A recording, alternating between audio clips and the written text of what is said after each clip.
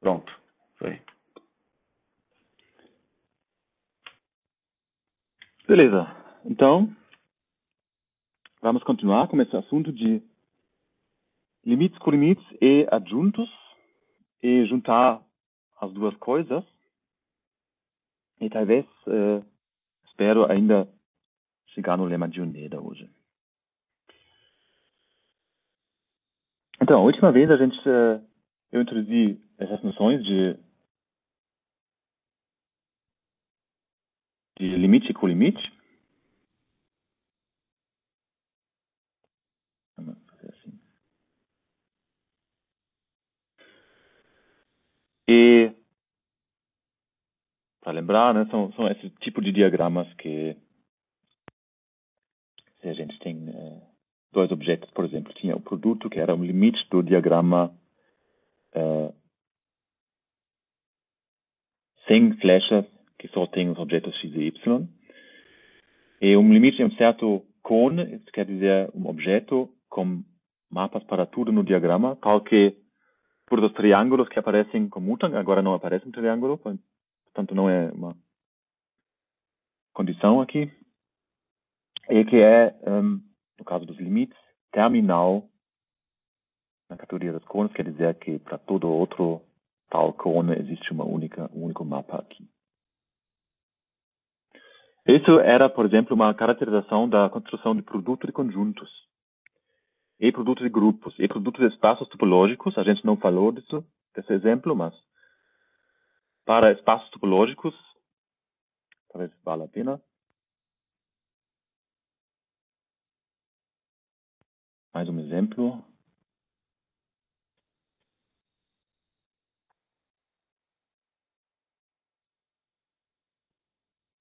Tudo na categoria dos espaços topológicos. Agora, se a gente tem uh, espaços topológicos x e y, a gente cria o produto um,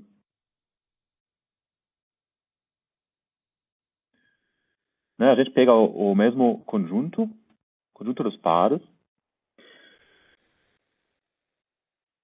e como a topologia gerada pelos uh, pré-imagens de abertos em X e em Y.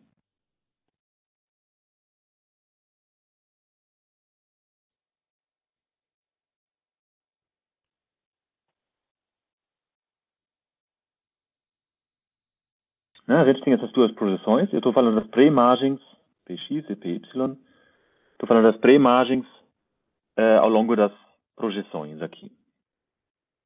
Topologia geral quer dizer o quê? Uh, bom, a gente tem um sistema de conjuntos assim, a gente pega todos os abertos em X e pega as pré-imagens uh, através do PX. Isso quer dizer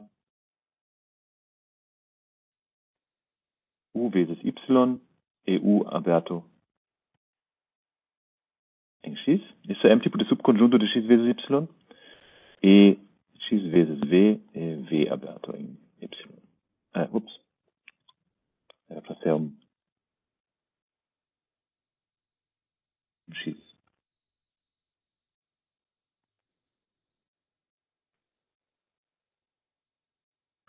Não, às vezes na num curso introdutório de topologia, vocês aprendem todas essas coisas, tipo a, a, a topologia quociente topologia produto, topologia, sei lá, o que mais vocês aprenderem lá.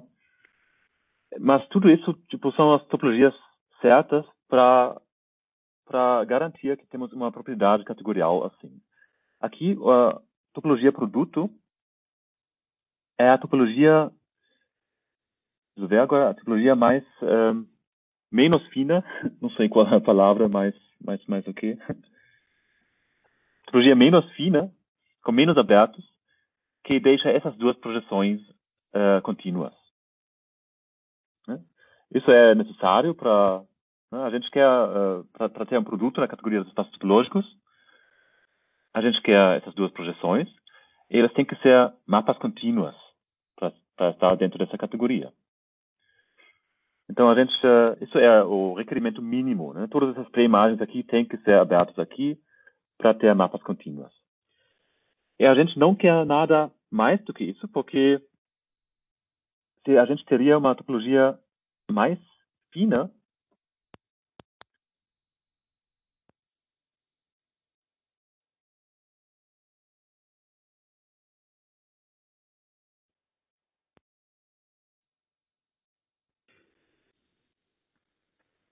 uh, ainda a gente teria essas, essas duas projeções, elas seriam contínuas, mas a gente podia botar aqui a topologia produto e não teria um mapa contínuo aqui, porque esse mapa teria que ser a identidade para uh, eh, fazer a coisa certa aqui nas projeções mas ele não vai ser contínuo, ele não é coisa mais a coisa menos fina possível aqui. né? Então, tipo, a gente pega o requerimento mínimo para para essas duas coisas sejam um, contínuas, essas projeções. E tem que ser o mínimo para todos os mapas para lá ser contínuos também. Para ter menos abertos para testar se algo seja contínuo. Então, tipo, é, isso é uma das coisas que, é, que é legal na teoria das categorias. Se você, tipo, uh, procura construções como o tipo de objeto que você estuda, tipo espaços topológicos, variedade, grupos, sei lá o que. Uh, isso, isso dá uma orientação. Tipo, se você procura, ah, eu quero fazer um produto, então, tipo, normalmente essa essa propriedade universal do produto que você quer realizar te produz uma guia, te dá uma guia que, que requer eh, como construir esse, esse teu espaço topológico, o teu grupo, ou seja, que for.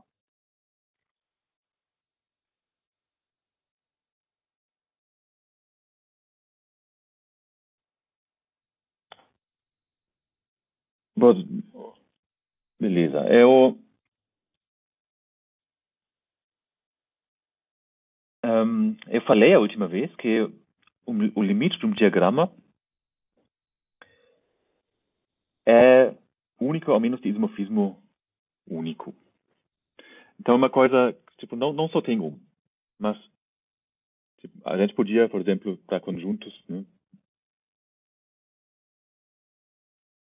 um, dois, ah, parece um três, parêntese, conjunto um, dois, vezes um, digamos, aquele produto em conjuntos,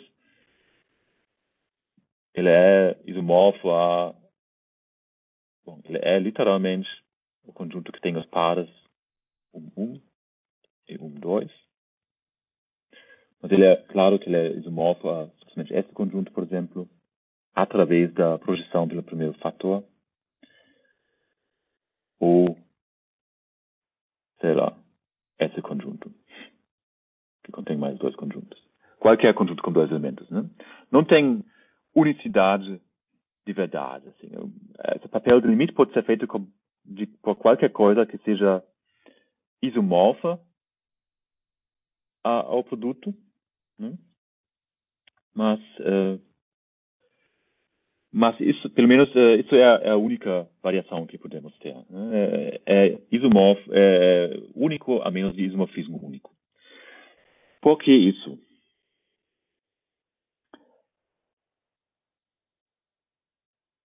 Acho que é bom ver isso, talvez.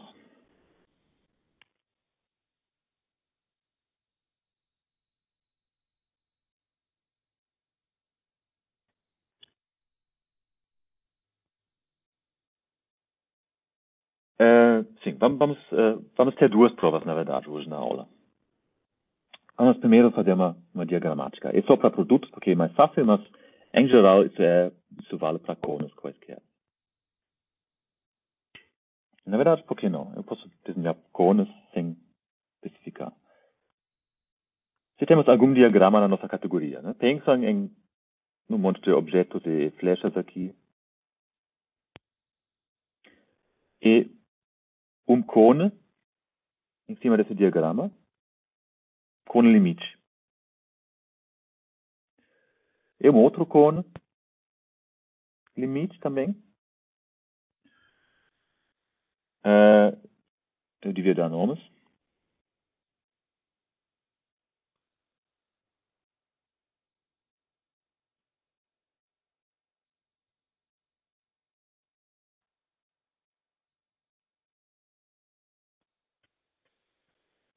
Então, limites, por definição, isso é um objeto terminal na categoria daqueles cones. Quer dizer, existe, porque B é um limite, existe um único morfismo de A em B, fazendo isso um morfismo de cones.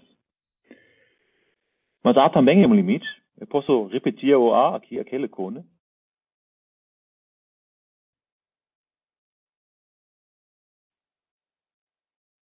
E também existe um único aqui. E agora eu tenho dois cones aqui, A e A mesmo, o mesmo A. Também existe um único morfismo de A em A. Mas esse único morfismo tem que ser identidade, porque a identidade faz aquele papel. A identidade, eh, ela, ela deixa tudo como está aqui. Então, se S é F, S se chama G, então G depois de F igual a I de A. E igualmente na outra direção F depois de G igual a I de B. Se a gente coloca mais um F aqui, então a gente uh, põe a identidade do B aqui e vamos ver aqui isso também da identidade. Então, uh, F e G são isomorfismos entre A e B.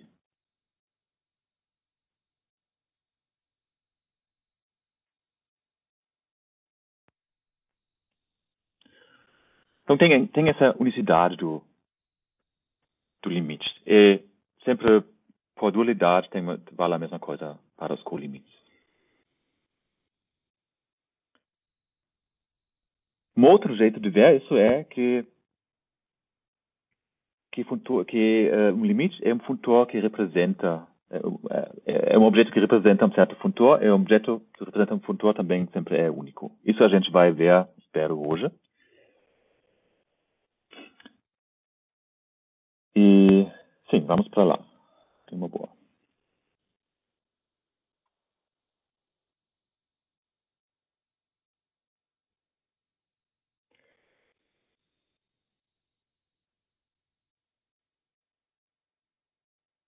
Então, uh, vou lembrar vocês.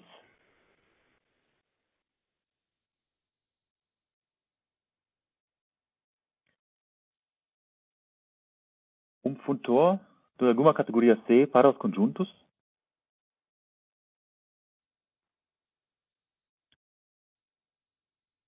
é representável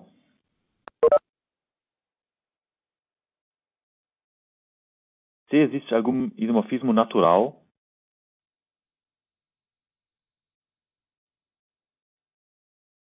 daquele funtor para um funtor home.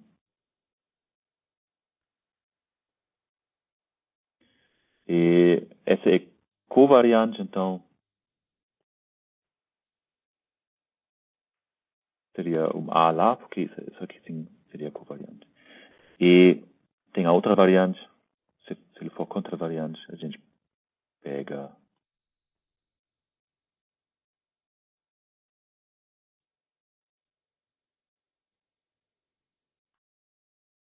colocar um objeto lá, não, no segundo lugar.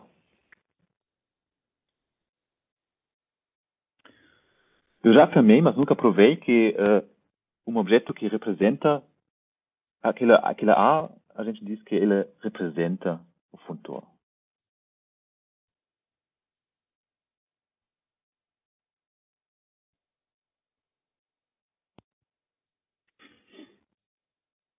A gente tinha um exemplo, por, uh, por exemplo, o funtor de esquecimento dos grupos para os conjuntos foi representado pelo grupo livre como um gerador. Então, aquele grupo livre como um gerador, ele representa o funto esquecimento.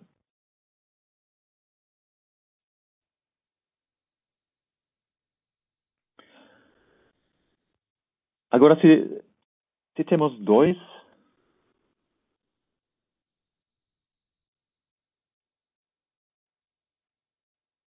uh, se temos dois objetos que representam um, o mesmo funtor, então eles vão ser isomorfos também.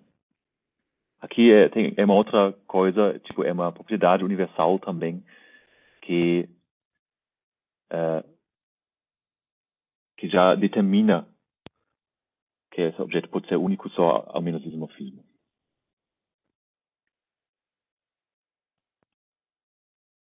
Bom. Um,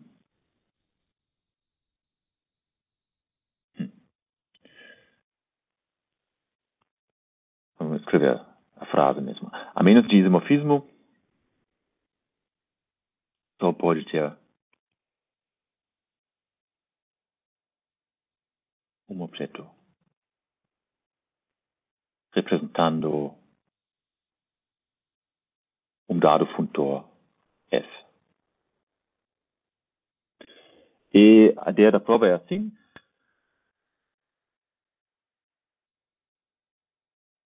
Suponha que f, aquele funtor, uh, digamos que ele é covariante,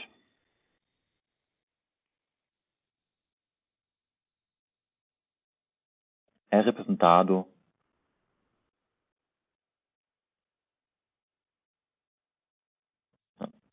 covariante, representado por um objeto A e também por um objeto B.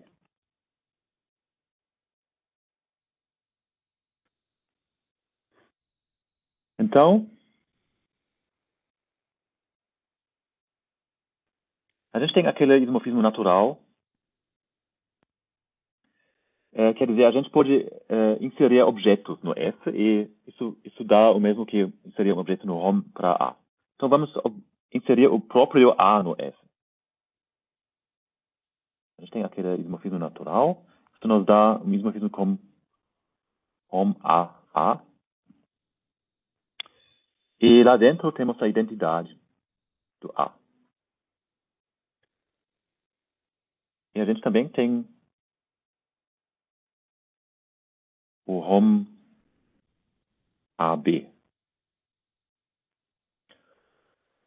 Agora, indo. Sim.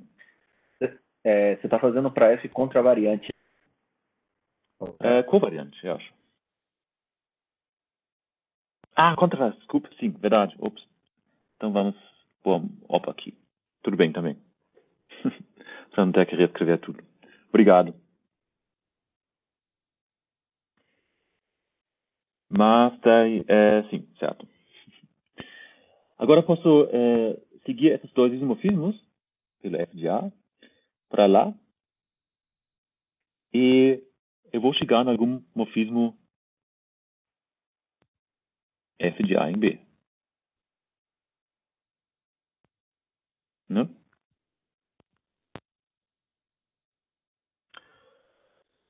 Aquele morfismo f de A em B, ele é morfismo em C, então eu posso... Ah, peraí, agora... Posso aplicar o ponto f a ele.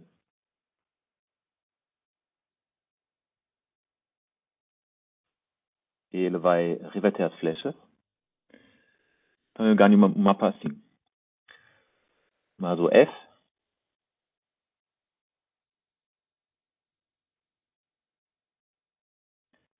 de novo, ele é isomorfo a home em A, então eu insiro o, objeto B, ganho isso. Também isomorfo ao home para B, inserindo o objeto B aqui. Tenho isso. Aqui mora a identidade de B. Seguindo esses dois isomorfismos, eu vou chegar em algum outro morfismo de B em A, que vamos chamar de G.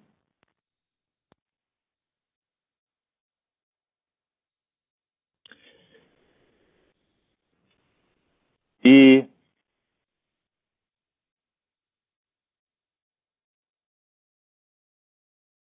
agora temos é, uh, sismos A, S, B, G para A.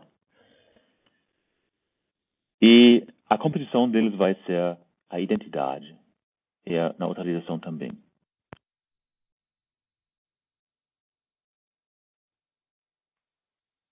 Então, A e B são isomorfos. Isso é a ideia da prova.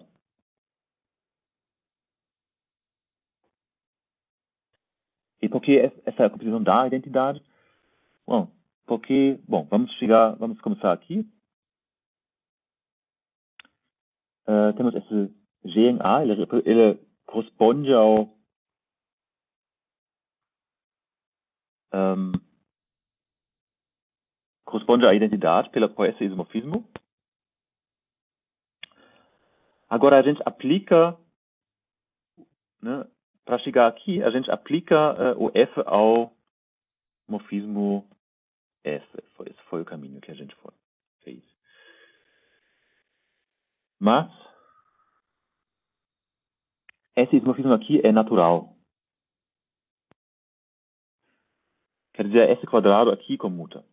Então, indo por aqui, isso na verdade é a mesma coisa que aplicando om f b.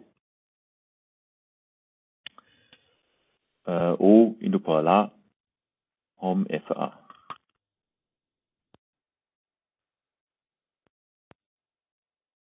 Mas isso quer dizer uh, fazer a precomposição com F. Agora, isso, isso nos dá G depois de F, e a gente chega, como dá para ver, na identidade de A. Isso, isso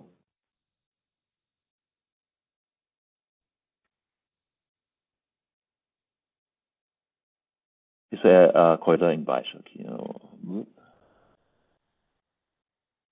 Aqui. Indo aqui, pelo caminho de baixo, a gente chega nessa coisa cor laranja.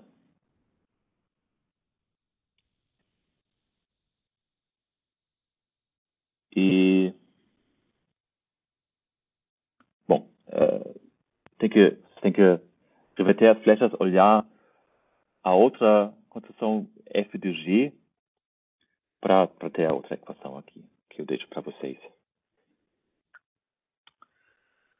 Então isso é um fato bem importante, que, que um ponto representável só tem um único objeto a menos isomorfismo que representa ele. Isso tipo. Vamos fazer uma coisa. Eh,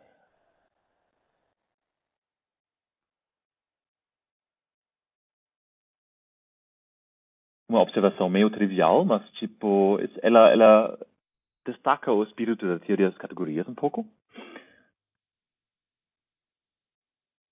Todo objeto, numa categoria qualquer, representa algum funtor.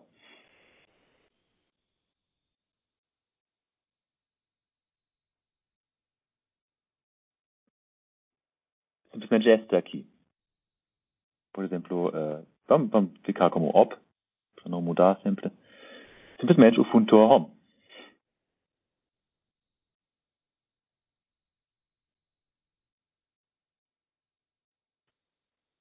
Então sempre tem uma, uma um jeito de caracterizar aquele objeto a menos de isomorfismo pelo funtor hom que, que ele representa. Isso quer dizer que ele, que ele é determinado pelos morfismos que chegam nele. E também que ele é determinado, tirando o op aqui, pelos morfismos que saem dele. Eu estou uh, lembrando uh, de um ditado de uma do Walter Canelli que adorei, do Clay na Unicamp.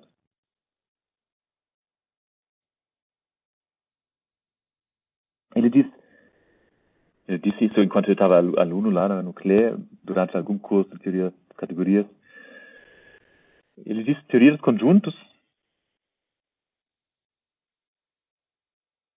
é psicanálise teoria das categorias, é sociologia.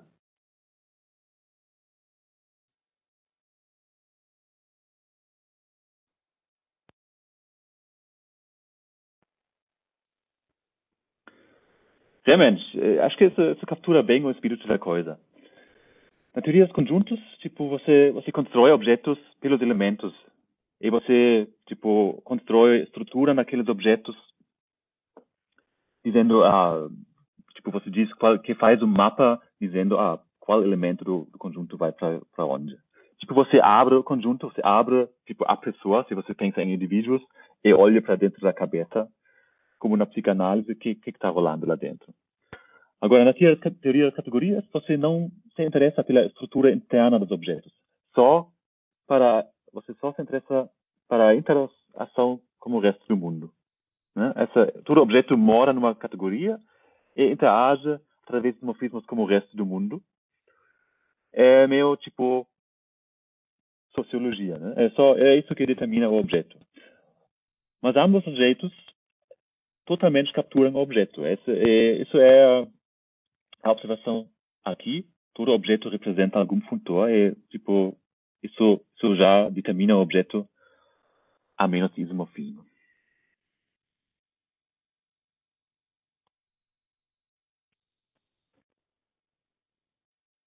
Agora, com isso eu posso provar. Tem questões aqui? Ou nenhum dos jeitos captura? Bom, captura a menos isomorfismo. isso sim, isso eu sei provar. Mas,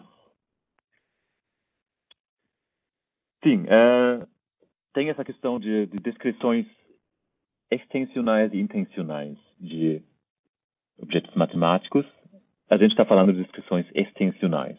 Nesse, nesse sentido, sim, isso captura, e de um jeito intencional, talvez não. É interessante essa questão. Agora, eu terminei a última aula dizendo que um, adjuntos à esquerda preservam colimites e adjuntos à direita preservam limites. Vamos provar isso agora? Não é difícil. E depois dar exemplos concretos.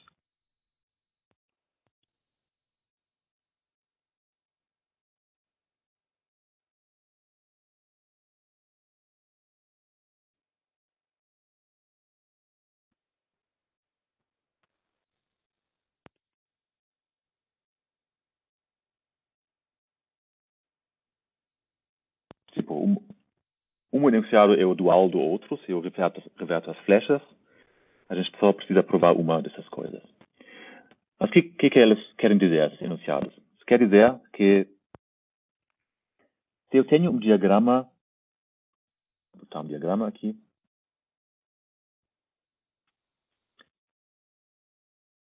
Normalmente, um diagrama consiste assim de, de objetos e, e flechas entre eles de. Talvez tem vários endomorfismos, sei lá. E é, um jeito de escrever o limite desse tal diagrama é, às vezes, lim i. Não é muito exato isso. O diagrama consiste de flechas e coisas, e um, um limite consiste de um cone, na verdade, né, de um objeto, mais projeções para aquele diagrama mas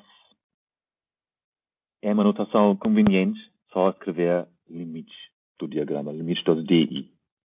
Eu vou usar isso agora.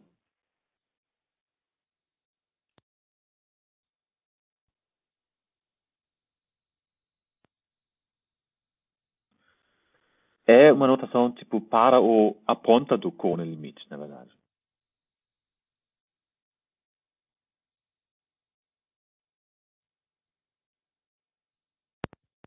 para aquele objeto limite.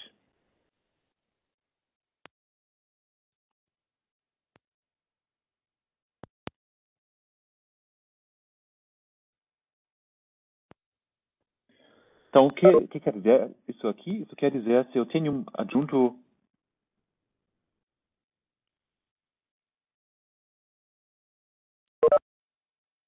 à esquerda, digamos,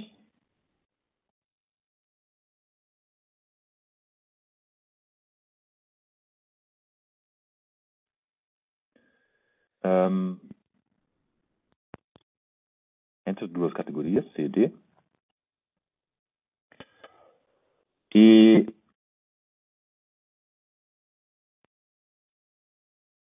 D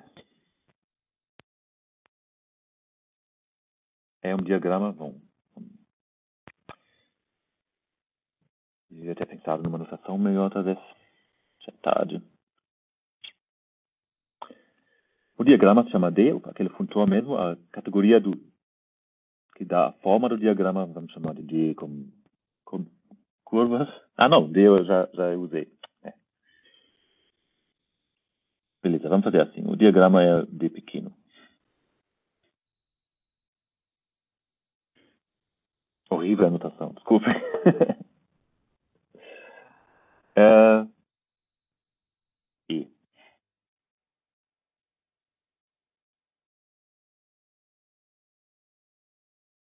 Algum diagrama em C. E suponha que temos o colimite daquele diagrama. E aquele E a gente pensa como sendo um monte de objetos aqui, E, I, E, J.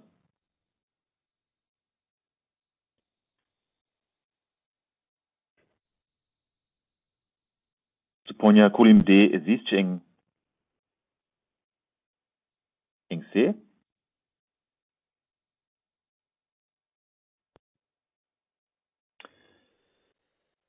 Então, eu posso aplicar o funtor eu posso, de um lado, eu posso uh, aplicar ele ao diagrama inteiro aqui.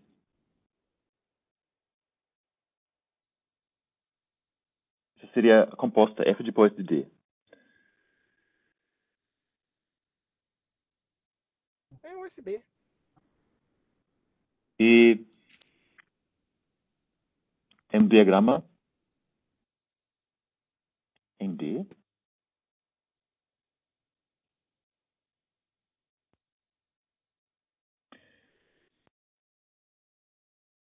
E a gente pode perguntar se existe um colimite aqui.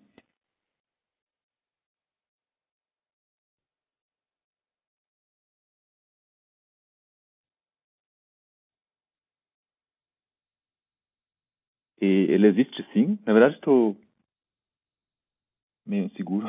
Acho que sim. Espera aí. Existe sim. Uh, ele é isomorfo ao F do colimite do D.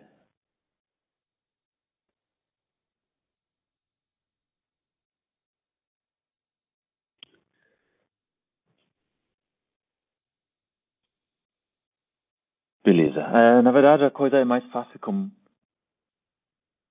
de escrever, agora que eu estou pensando. Vamos dar a prova talvez no outro caso.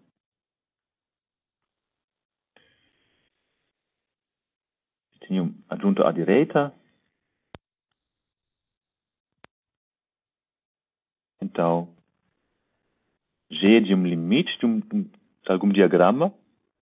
Agora vou começar a usar essa, essa notação aqui.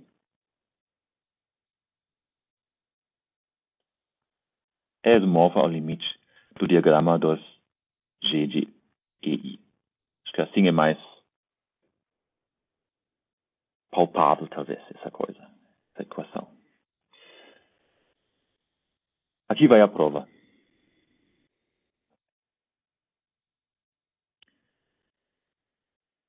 Vamos fazer o caso do, do adjunto à direita.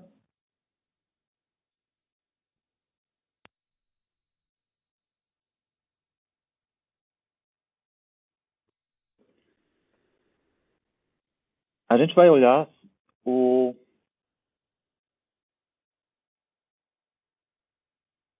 Então, a gente tem o diagrama aqui.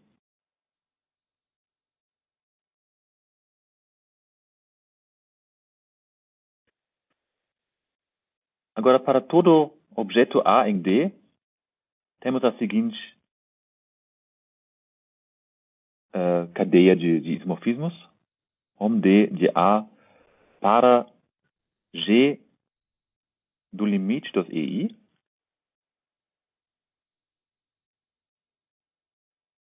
né? os objetos aqui.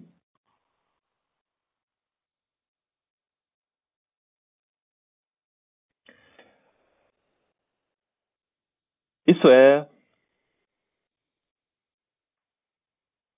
Isso eu posso trocar usando o adjunto à esquerda F para o outro lado, para dizer algo sobre o home C, uh, F de A para o limite dos EI.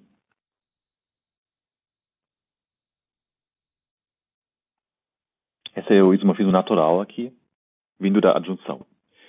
Agora, o que eu falei a última vez ainda é que futuros representáveis comutam com limites. O que quer dizer o seguinte, eu posso tirar o limite daquele home.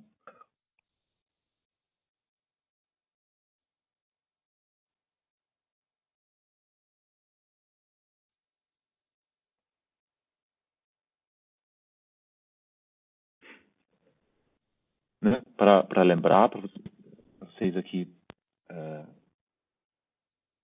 eu dei o exemplo do pullback, mas, por exemplo, para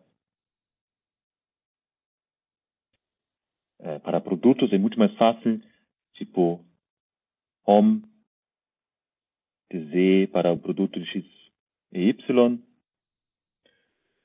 Isso é isomorfo a home Z em X vezes vamos dizer em Y, o que é um produto em conjuntos. Isso por quê? Porque exatamente pela propriedade universal do produto, dado um par de morfismos, algo aqui embaixo, né? existe um único morfismo do Z para o produto, que produz esses dois a composição como as projeções. Né? O par que eu ganho aqui é projeção X composto com F, projeção Y composto com F. Então, uh, futuros representáveis né, para os conjuntos uh, preservam limites no segundo lugar. Isso que eu usei na, nessa próxima passagem aqui. Agora posso trocar o F de volta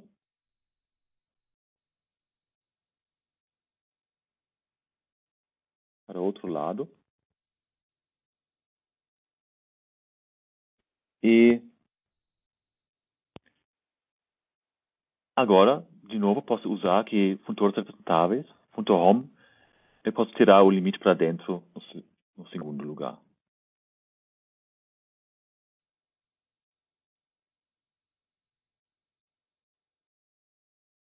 Ah, desculpem. Isso aqui era para ser um G.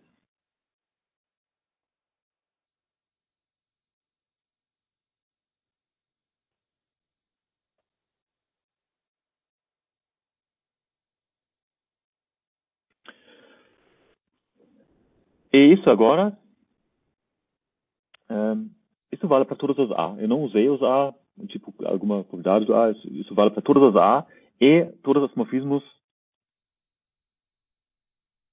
todos os isomorfismos eram naturais, quer dizer, trocando o A, eu, eu ganho algum uh, quadrado comutativo. Então, eu, temos aqui um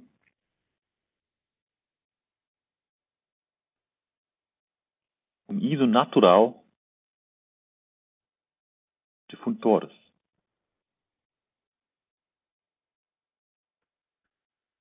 Né?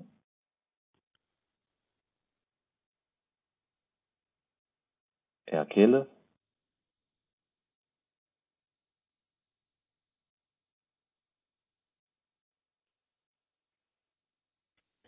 e esse outro funtor. Uh, um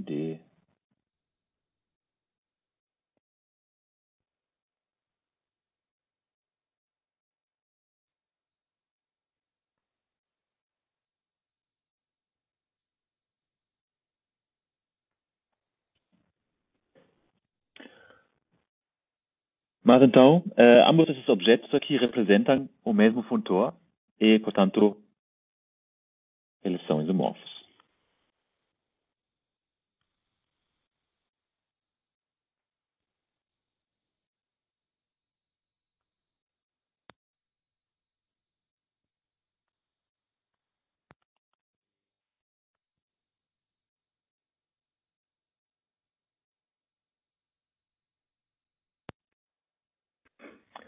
Agora estou realizando que essa, então essa é a prova, mas estou realizando que eh, essa prova, na verdade, não provou tudo o que eu prometi. Eu preciso inserir aqui, eu usei na prova que o colim- colimite, o limite eh, existe na categoria onde eu estava. Então, eh, dado a existência de limites e colimites, eu, eu sei que os adjuntos à direita, eles preservam limites nesse sentido e à esquerda preservam colimites. Beleza, esse foi um pedaço de raciocínio abstrato, mas vamos ver ah, uns exemplos. Peter, tem um- uma pergunta. Sim, É, você usou ali que o funtor home ele preserva já limite, né? sim. Aí, aí a minha pergunta é o seguinte: é, você tinha falado que toda categoria pequena, foi até um exercício que você deixou, né? Toda categoria pequena ela é uma categoria representável, né? Uma categoria concreta que, que admite um eh, funtor fiel para os conjuntos. Ah, não, então tá bom. Eu tinha confundido, eu achei que era todo funtor para conjunto seria representável. Mas não, não, tem. De jeito nenhum. Tá. Beleza, beleza.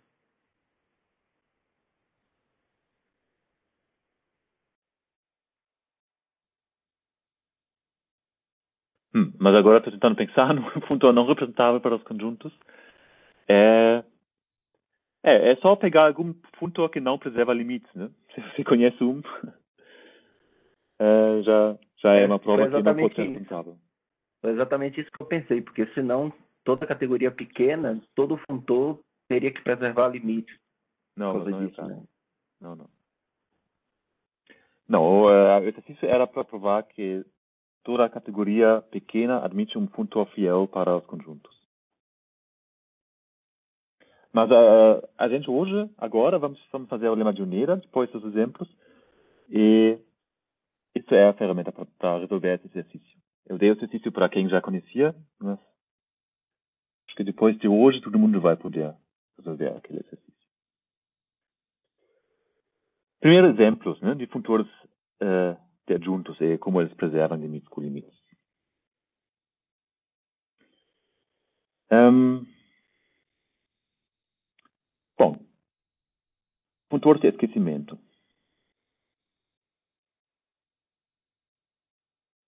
Opa.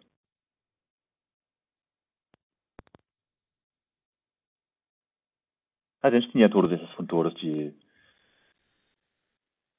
grupos para, para os conjuntos, anéis, para os grupos, por exemplo, espaços topológicos para conjuntos, sempre, sempre tomando conjunto subjacente, ou aqui talvez o grupo aditivo subjacente.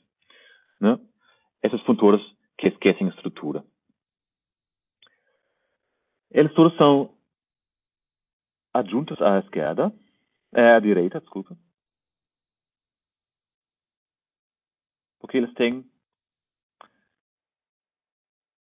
Vamos começar com uma álgebra aqui. Peraí. Isso eu vou tratar depois.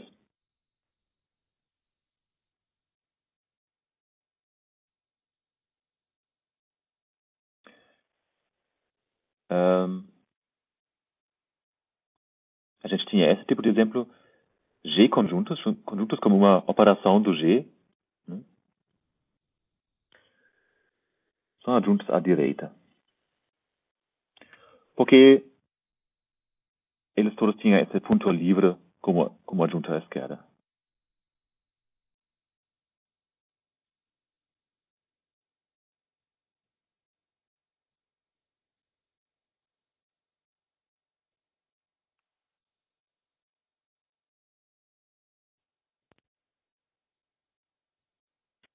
A gente tinha outro, né? A gente tinha um,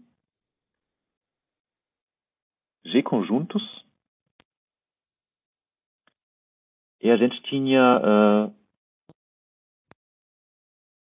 os pontos fixos e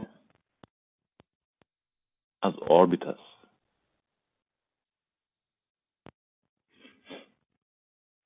Talvez não é o de esquecimento, também vou tratar depois. Agora, isso, isso explica né, que a gente, por exemplo, produtos?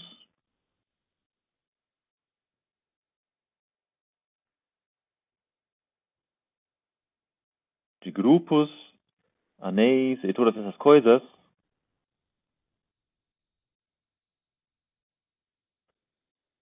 Sempre são da forma? Uh, produto dos conjuntos subjacentes mais uma estrutura de anel ou de grupo ou de G conjunto naquele conjunto.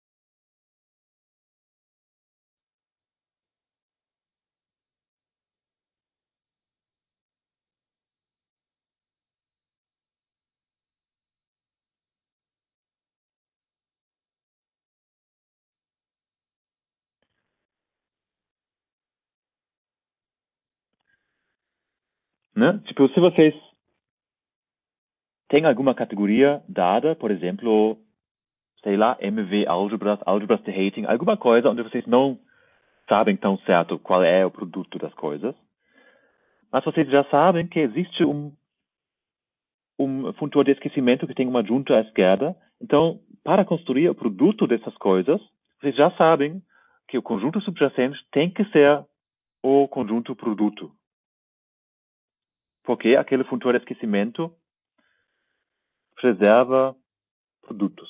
É a mesma coisa com todos os limites.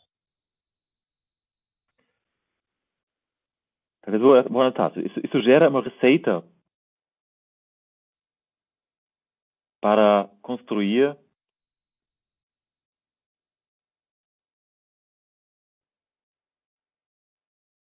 uh, limites em geral de estruturas algébricas.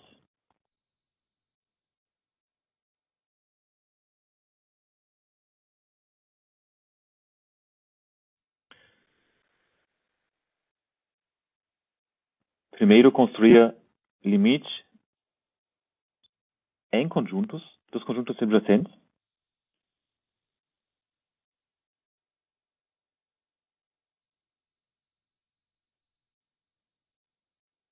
depois procurar uma estrutura de daquele tipo que você precisa naquele conjunto. E só pode ser essa receita porque aquele funtor de esquecimento preserva limites.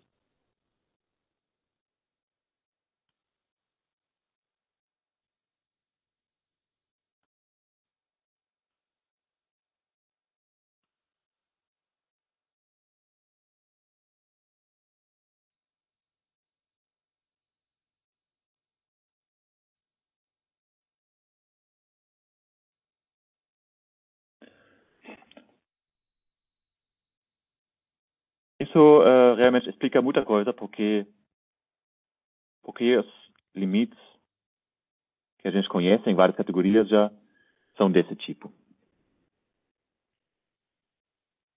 Porque realmente não tem escolha enquanto temos uma junta esquerda lá. Outro exemplo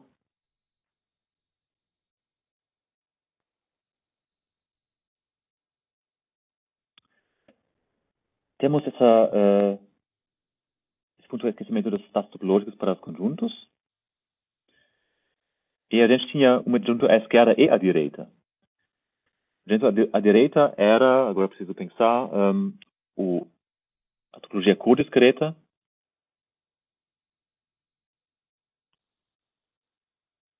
Um conjunto e à esquerda era o, a topologia discreta.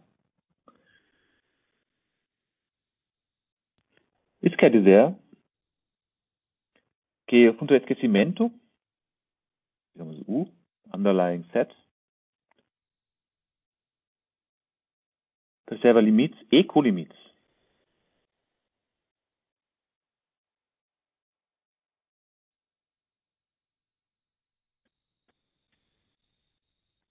E isso realmente, se vocês pensam nos, nos tipos de limites e colimites que vocês conhecem em espaços topológicos, realmente é assim. Sempre temos uh, tipo, também formando colimites, a gente realmente pega os conjuntos subjacentes, a gente cola elas ou identifica elementos dos conjuntos subjacentes, depois põe uma topologia em cima disso que dá, que faz o papel.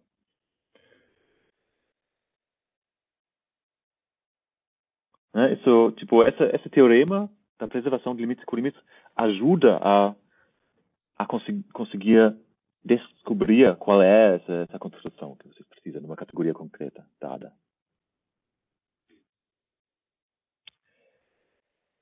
Beleza. Uh, bom, deixo para vocês um,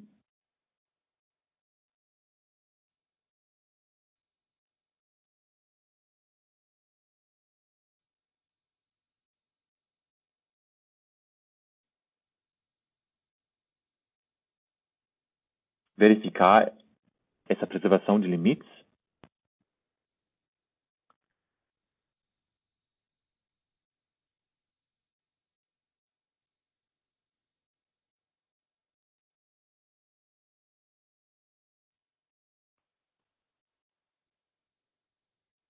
ou de colimites. No caso, das adjunções em volta do ponto fixo de, de uma operação de grupo.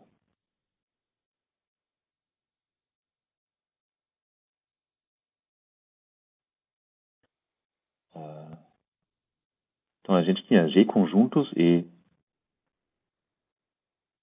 conjuntos, a gente tinha uh, conjunto X com a operação de G podia ser mandado para os pontos fixos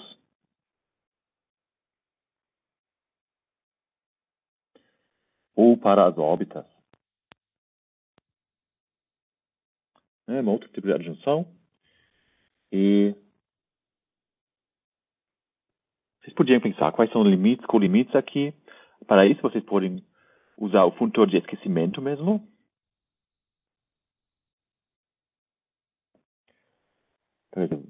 Primeiro, pensar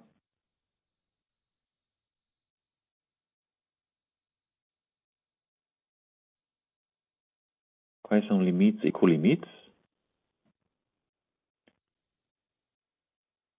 Nos G conjuntos, usando o funtor de esquecimento normal, conjunto subjacente.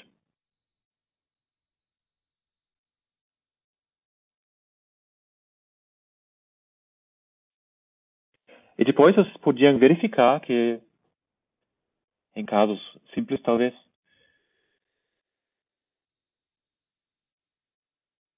que essas, essas adjuntos aqui também preservam limites limites.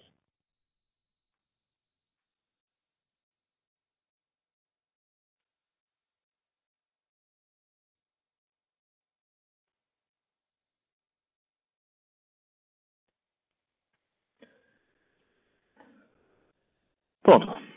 Está na hora, eu acho, para falar do lema de Unida.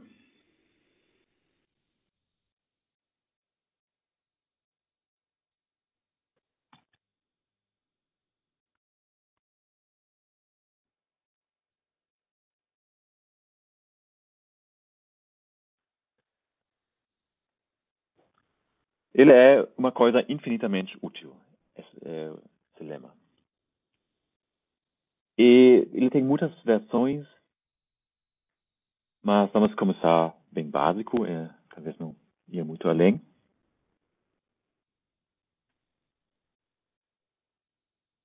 O lema de Uneda, eu não vou dizer enunciado já, tipo, vamos começar o seguinte, como a imersão reunida.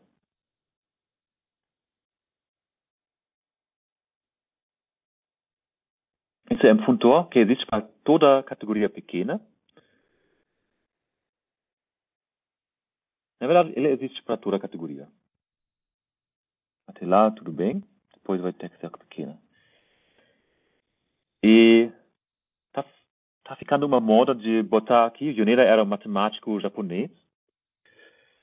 É, tá na moda agora de botar uma letra japonesa aqui, é, que eu não sei qual é. Não sei desenhar ela, eu boto um uh, Y mesmo.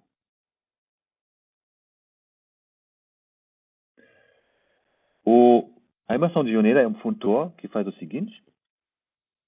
Ele joga todo X aqui para o funtor OMC lacuna X. Isso é um funtor né, de contravariante de C para os conjuntos, porque eu posso botar um outro argumento aqui e vou ganhar um conjunto. E o que, que ele faz nas, nas flechas?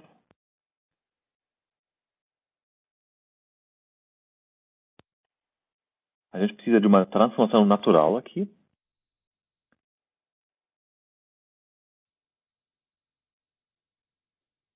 E ela é dada pela pós-composição como S. E isso para todo objeto que eu entro aqui.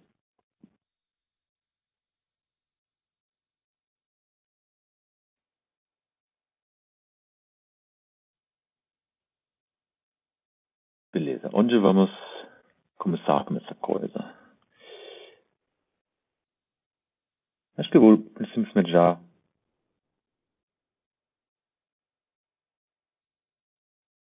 começar a provar esse lema de janeiro. Né, essa, essa aqui é também, você escreve y de x vezes.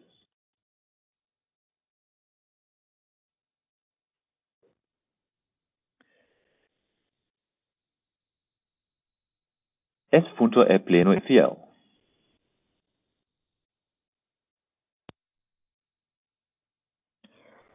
Um, desculpem. Que não é geral suficiente. Eu vou precisar da versão mais geral. Sei para um momento que eu não preciso, mas vou. Bom, Lema de Neira diz o seguinte. É, as transformações naturais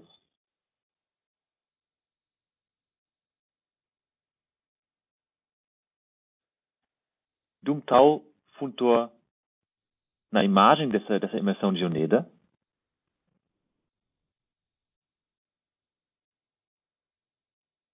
para um outro funtor F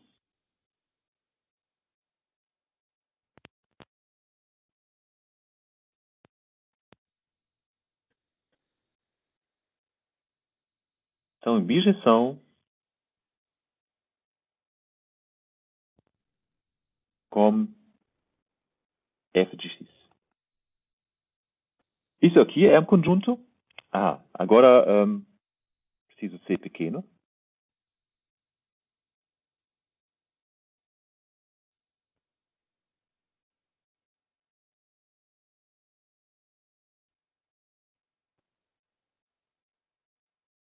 Eu acho. Vamos ver na prova. Isso aqui é um conjunto. O conjunto das transformações naturais, sim, para isso preciso ser pequeno, para isso ser um conjunto. Esse f de x também é um outro conjunto, porque f é um funtor aqui que toma valores na categoria dos conjuntos. E a gente tem um isomorfismo, e até um isomorfismo natural, em algum outro sentido, mas, bom, vamos começar dizendo que isso é um isomorfismo. Esse isomorfismo é bem uh, explícito.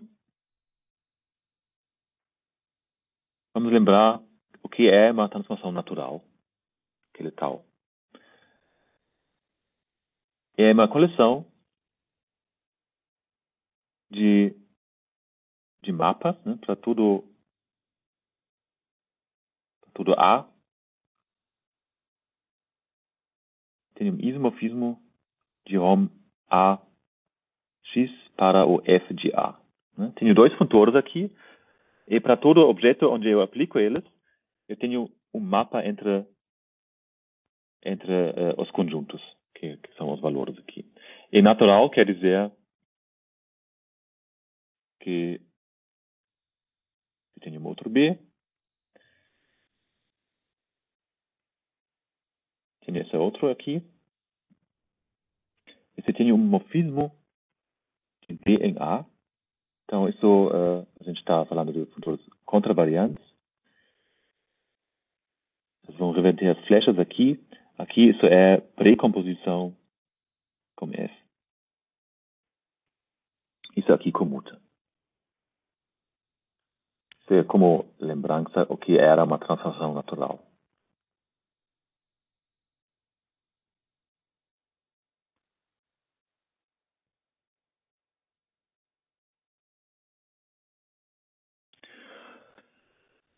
Agora, dado um tal, tal, como eu vou chegar naquele conjunto f de x?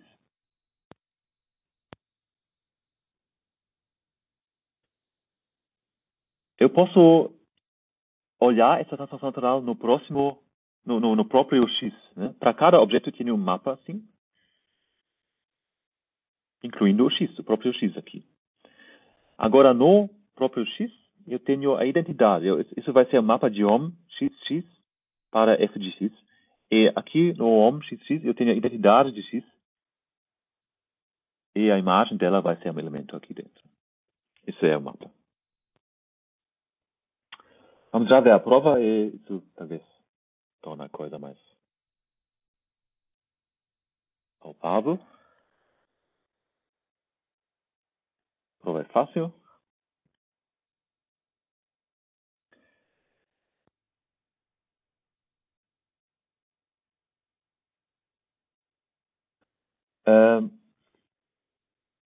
Bom, primeiro a gente tem aqui esse mapa, ele é bem definido. Isso é claro, né? A gente tem a transformação natural, isso determina aquele elemento do f de x. Agora aqui isso é sobrejetor e injetor, isso a gente tem que provar. E vamos, tipo, é, vamos simplesmente desenhar um diagrama e ver no diagrama que ambas as coisas são verdade.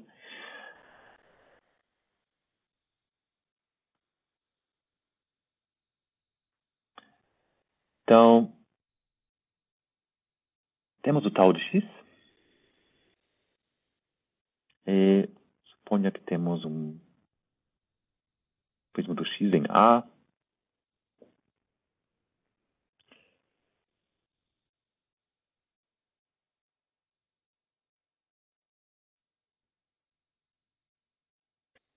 Uh, Desculpem, eu acho que a, a narrativa não é boa. Estava tudo certo aqui, mas.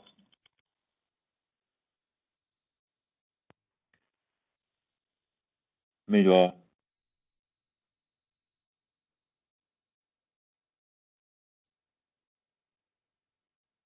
Talvez melhor uh, ser mais sistemático com isso. Então, vou, vou primeiro provar a injetividade dessa coisa. Isso eu vou provar né, que duas transações naturais diferentes vão dar elementos diferentes aqui. Isso quer dizer, eu vou provar, provar na verdade, que, uma, que aquele elemento já determina a transformação natural inteira. Isso é que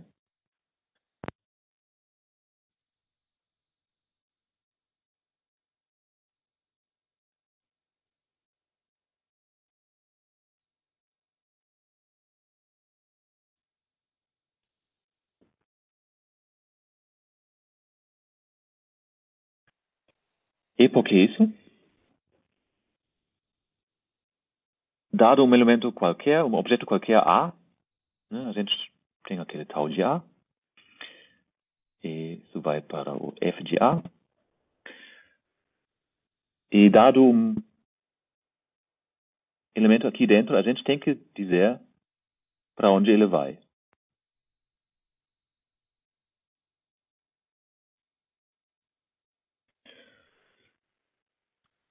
Agora, se a gente conhece simplesmente aquele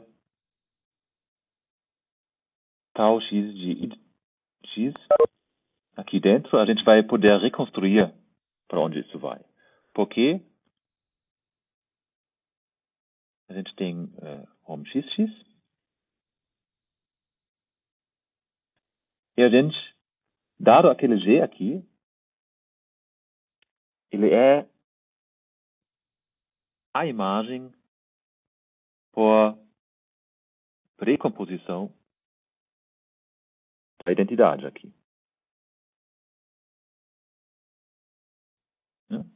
A gente tem hemorfismo A, G de A em X. Então a gente tem a, a, o, mapa precomposição como esse morfismo e o próprio G vai ser a imagem de id. Né? G composto com id e id. É, é G. Agora a gente aqui também tem um f de G. E a gente sabe que esse diagrama comuta. Então aqui por cima a gente vai chegar primeiro no tal x de it e depois no f g de tal x de it x.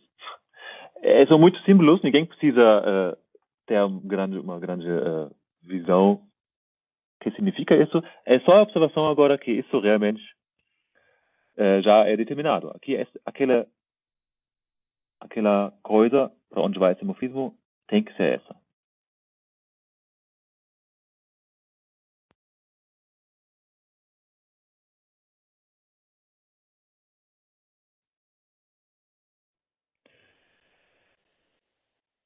em subjetividade, né? Porque para cada elemento de f de x existe uma transformação natural tal que manda a identidade uh, de x para esse elemento. É simplesmente assim. Tipo, dado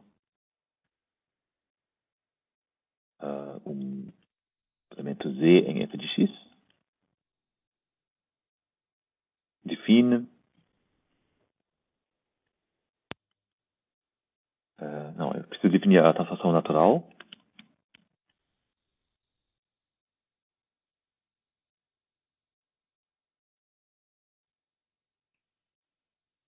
quer dizer, preciso definir um mapa para cada objeto e para definir esse mapa, preciso dizer que esse mapa faz com cada morfismo saindo desse objeto em X.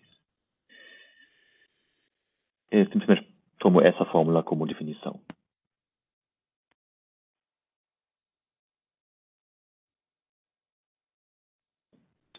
E agora, isso vai automaticamente dar uma transformação natural.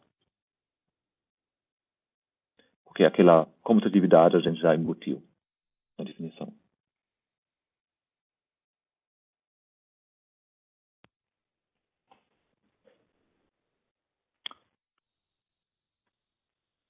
Agora, isso é meio técnico, eu sei, mas para apreciar um pouco o que esse lema de faz, por exemplo, né, a gente, é uma, é, isso é uma enorme redução de complexidade. Né, um, uma transformação natural, por definição, é, é um, um, conjunto enorme de dados. Né? A gente precisa mapas para cada objeto nessa categoria pequena C, e né, esse, toda, cada mapa tem que dizer para onde vai qual elemento aqui, aqui. E toda, todos esses dados são determinados já para um único elemento num único conjunto que está na imagem daquele funtor F.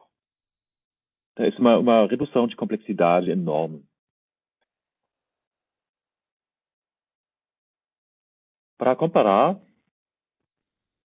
uma, uma tal redução de complexidade ocorre também na álgebra linear. Né? Se vocês querem determinar um mapa é, linear entre os espaços vetoriais,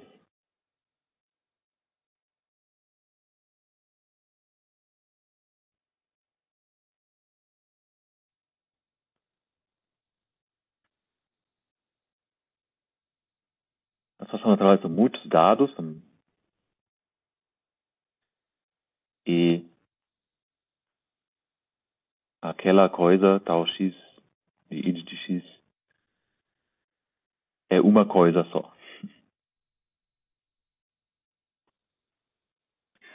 É, uma vez, uma coisa semelhante ocorre na árvore linear, né? Um mapa linear, digamos, do Rn em, em R.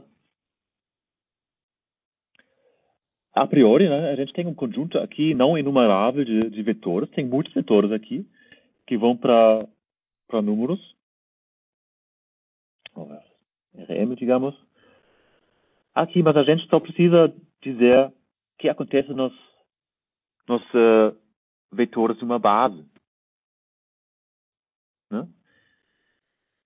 E isso, a gente, para cada vetor de base que a gente uh, olha só a imagem dele, a gente coloca isso como colunas numa, numa matriz e a gente tem n vezes m números reais, que é muito menos dados.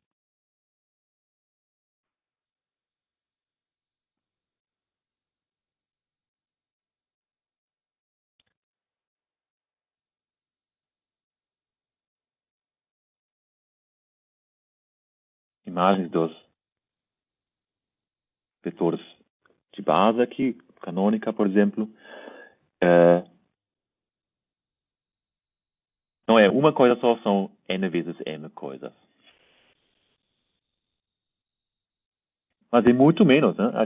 Isso já determina o que ocorre como as não enumeráveis muitos vetores que temos aqui. É uma redução de complexidade enorme, de novo. E isso não é uma, uma analogia qualquer, isso realmente é mais ou menos o que acontece aqui. Uh,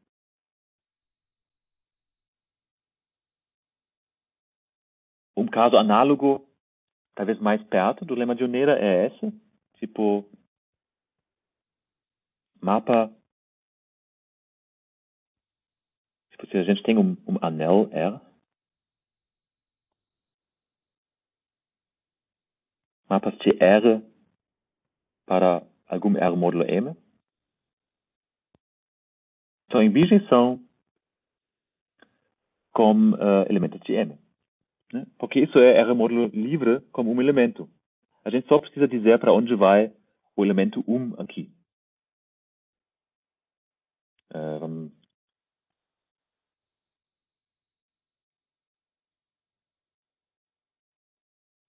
Dado um tal f, de R em M, elemento aqui, a gente joga ele para o f de 1, e isso já determina o mapa inteiro, porque para ser R linear, basta saber o que acontece no 1.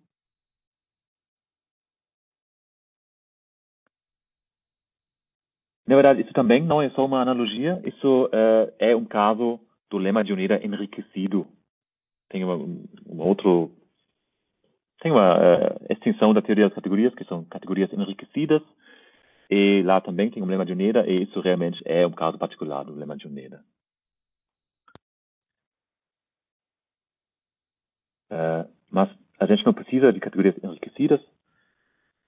A gente podia falar de monoides e M conjuntos.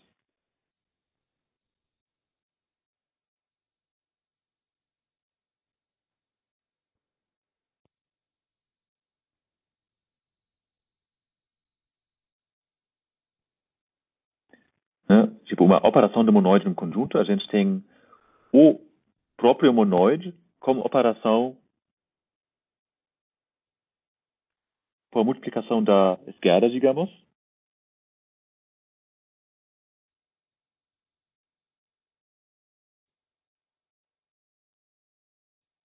E um mapa de lá para um outro conjunto é como operação de M.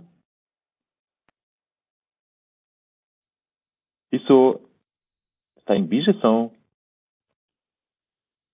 como os elementos de x, simplesmente, de novo, fazendo aquilo. Isso agora realmente é o caso particular do lema de Unida, quando a categoria pequena C tem um objeto só.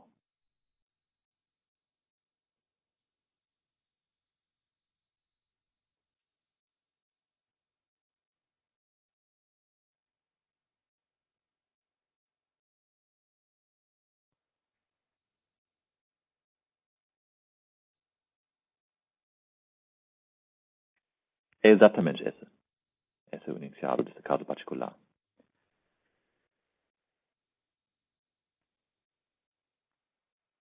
Agora,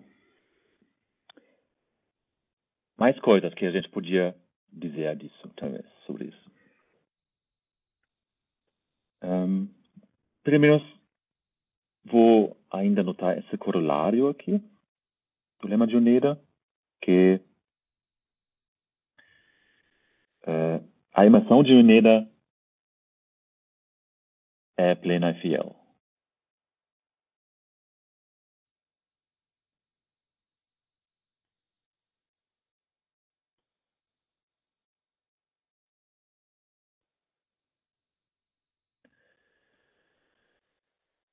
Né? É, Para lembrar, esse foi o funtor do, da categoria pequena dada C para os funtores contrariantes do C em 7, que jogam X no um, X, aquele funtor que mora aqui. E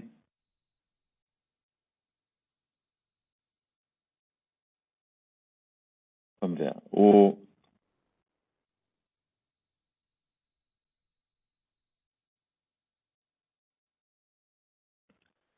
isso do meu enunciado aqui. O enunciado do lema de Unida era esse, que essa, esse mapa particular é uma, uma objeção. Né? Agora vamos espacializar o F para também ser uma coisa desse tipo.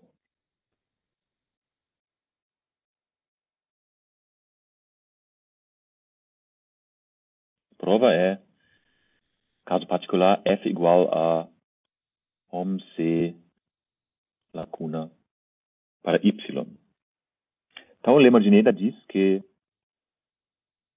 as transformações naturais, vamos chamar esse conjunto assim, nat hom X para hom Y está em bijeção com hom de em y.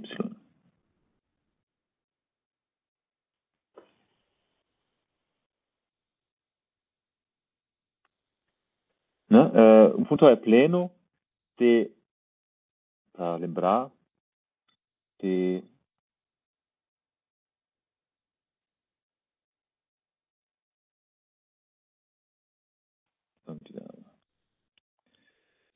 melhor poder dizer de onde para onde. FCD é pleno se hom C, XY. A gente sempre tem aquele mapa entre os conjuntos hom. Aqui fx, f de y é sobrejetor, foi a definição, e fiel se ele é injetor. Pleno fiel quer dizer, isso é uma bijeção. Isso é que a gente tem aqui. Né? A gente aqui, transformações naturais são os morfismos naquela categoria de funtores. etc. Isso aqui são as coisas na imagem de funtor. Y de x, y. Isso aqui seria exatamente uh, o enunciado de ser pleno fiel. Agora, um, talvez a gente devia também ainda lembrar como funciona essa funtor. Né? A gente joga isso para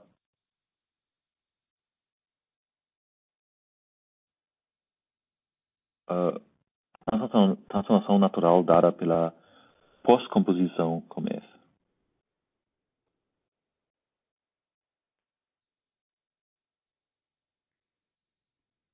Vou deixar assim, vou deixar para vocês uh, verificar o, tipo, entrar nos detalhes do enunciado mesmo. E acho que preciso terminar logo. Vamos, vou dizer uma última coisa. um, outro teorema que requeria uma outra prova. É o seguinte.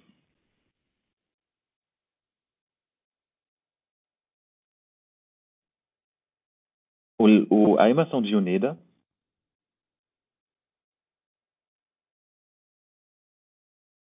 é a co-compleção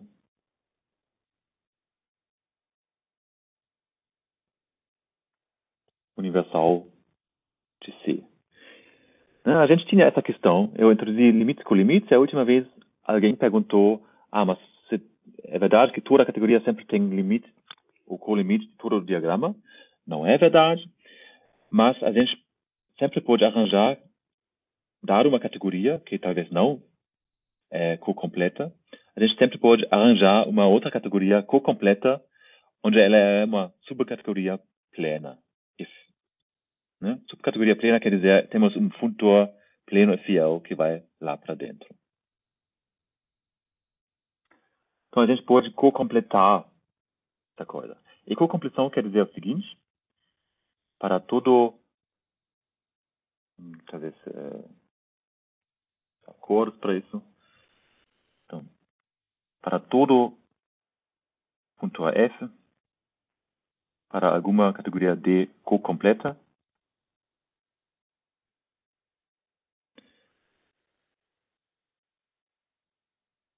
existe um único ponto F tilde,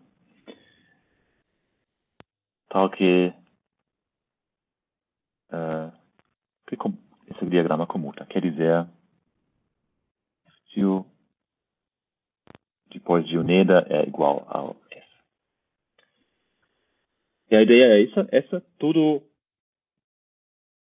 Bom, é, é fácil de ver, que a gente talvez pode discutir na próxima vez, que essa categoria aqui é co-completa, tem todos os colimites, é simplesmente, isso é, segue do fato que 7 é co-completa. E, então, dado algum Bom, é, essa, essa parte 1 já, né? A gente tem uma, uma equação plena fiel para uma categoria completa. Agora, outro fato é que tudo aqui, todo funtor aqui, é um colimite de coisas na imagem do y. Então, para definir o f tilde, a gente vai fazer o seguinte. Dado uh, algum funtor aqui, a gente expressa ele como colimite de coisas daqui a gente sabe como mapear as coisas daqui, através do F, a gente toma com limite aqui. Essa é a ideia. Isso é uma, uma coisa super útil. E vamos ver é, mais disso, talvez, a próxima vez. Mas, na verdade, a gente já está pronto agora. Isso foi mais ou menos a parte introdução às categorias. Foi super rápido, eu sei. É, mas é isso, a gente está pronto, na verdade, para começar com álgebra categorial. Na semana que vem, isso vamos fazer com certeza. Vou ver se eu, se eu não uh, ainda vou adicionar uns complementos subtíveis categorias geral, mas, mas estamos prontos mais ou menos para discutir álgebra categorial, que é um assunto bem legal. Então, foi isso. Obrigado. Beleza, Peter. Perguntas?